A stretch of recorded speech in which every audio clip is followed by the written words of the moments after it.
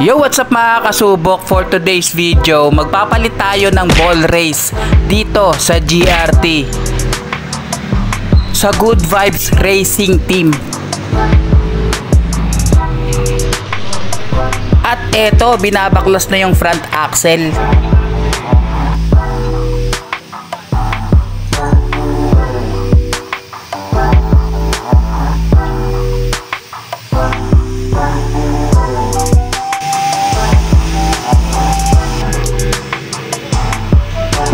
Tinatanggal na yung caliper. Pinagawa ko pala to dahil kapag nilili ko si Ares, may kabig, may pigil siya. At yun, tinatanggal na yung gulong.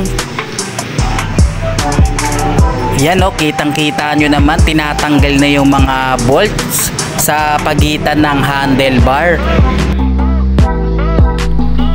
Pati na rin yung MDL tinanggal at yung mga bolt sa pinaghigpitan ng T-post. Ito binabaklas na yung malaking nut sa butterfly T-post. Ah, correct nyo ako mga kasubo kung ito ba yung tawag dito. Ayan na, ayan na, sinusungkit na yung o-ring batawag dito sa may inner tube. Tapos yung binabaklas na rin yung bolt sa baba ng T-post. Grabe talaga.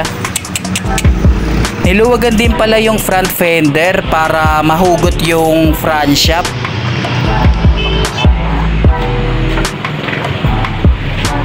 Eto, binabaklas na yung handlebar. Grabe, dami pala binabaklas dito. Pati yung head cooling, tatanggalin rin pala. Pati yung mga wire socket doon sa loob, tatanggalin din. Parang nagalit na si kuyang mekaniko. Inamer malit na yung tube sa may ball race. At eto, pinupwersa na para matanggal yung nut at washer. At eto yung kinalabasan. Grabe, baklas na yung T-post. At eto, tingnan nyo naman yung bearing oh. Kulang-kulang na, tsaka yung parang bahay, may ball race ba yun? Wala na, kulang na, basag na. Babaklasin din pala yung speedometer gauge para may pwersa. Tanggalin yung bahay ng ball race, ba tawag dyan. Tapos ginamitan siya ng mahabang tubo. Tapos isang daang porsyento ulit para matanggal yung parang bahay ba doon, yung bilog ng ball race. Correct nyo ako mga kasubok ha.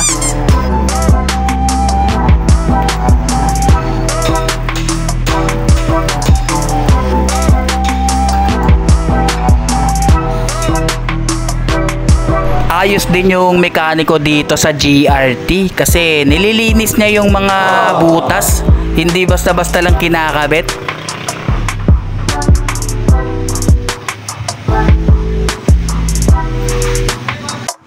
Eto, kinakabit na yung ball race na may tatak na Yamamoto Uh, 200 pesos pala ito mga kasubok ang pang XRM 125 na sukat sa ating Honda RS 125 Fi.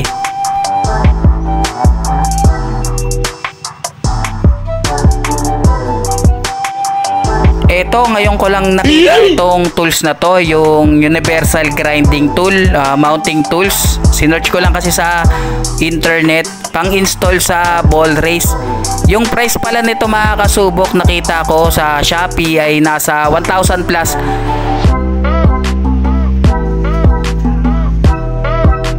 Buti na lang pinagawa ko to dito dahil durog tayo. Wala tayong ganitong tools. Mahirapan tayo. Mahirapan tayo magkabit. You know, mainam na kinakabit ni kuyang mekaniko yung dalawang bilog. Uh, kailangan kasi pantay yun eh. Bago ikabit yung bearing niya. Share ko lang mga kasubok, may pinagtanungan tayo sa isang shop na kung magkano yung labor or service nila ng ganito pagkabit ng ball race.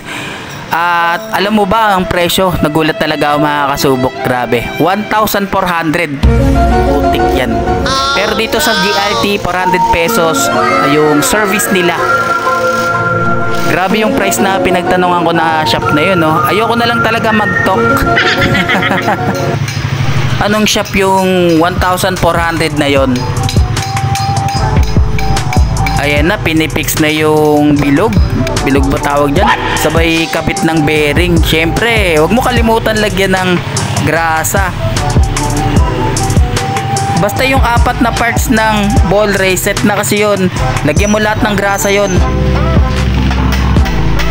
Eto, manual na pala sinisikipan yung T-post.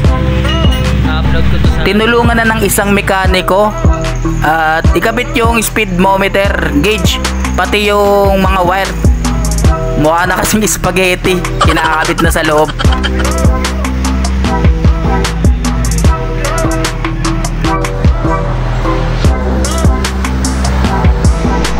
Yun oh, binabalik na yung front suspension. Medyo dumidilim na mga kasubok.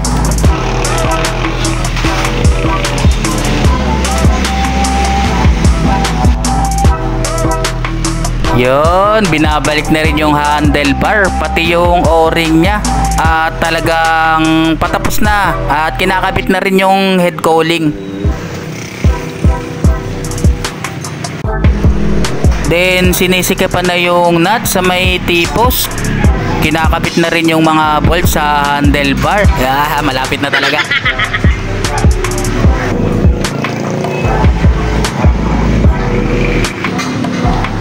At eto, wala na. Finish na talaga. Goods na goods na. Umabot pala ito mga kasubok ng 2 hours and 30 minutes. Sa mga gustong magpagawa ng mga ganito, ball race, magkarga ng sa makina, repair, punta lang kayo dito ha sa GRT. Lalagay ko na lang yung link dito sa baba. Yo mga kasubok, sa mga gustong magpakintab, maglinis ng motor, available pa rin yung ating Magic Gatas, Armor Mat, Degreaser, Helmet Freshener. Syempre, available pa rin yung ating FD Clothing na motor lang ang hilig. So, score na kayo mga kasubok, PM nyo agad ako. So hanggang dito na lang yung vlog natin mga kasubok. Like, comment, and subscribe. Ride safe sa inyo.